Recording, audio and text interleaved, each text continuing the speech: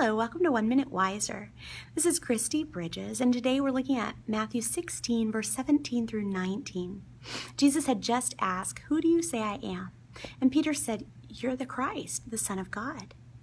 Jesus said, Blessed are you, Simon Bar Jonah. Flesh and blood hasn't revealed this to you, but my Father in heaven.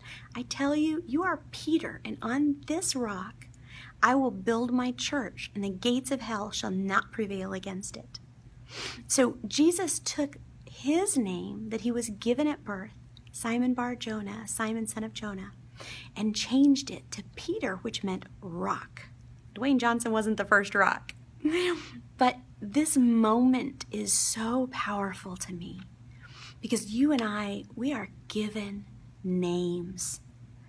Some of them may even apply at times in our lives, but Jesus gives us a new name.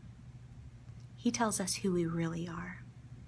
I'll never forget at 13 years old, standing there doing dishes while my stepfather called me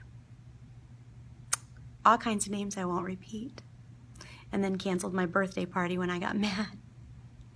You know, whether we are treated wrongly by an abusive family member, or whether we're just rejected by someone we love, or we fail at something we attempt, we take on names that bring about shame and rejection, and we might believe those things.